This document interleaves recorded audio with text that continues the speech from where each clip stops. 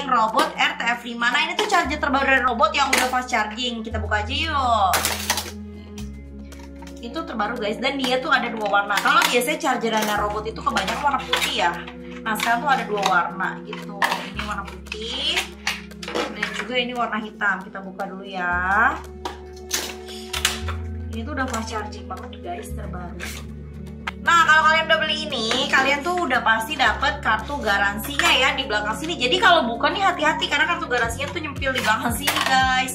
Gitu karena semua produk robot itu bergaransi dan juga produk robot itu sudah menang Super Brands 2022 kategori charger. Jadi nggak perlu ragu lagi untuk beli robot. Nah, ini dia bentukan RTF 5-nya.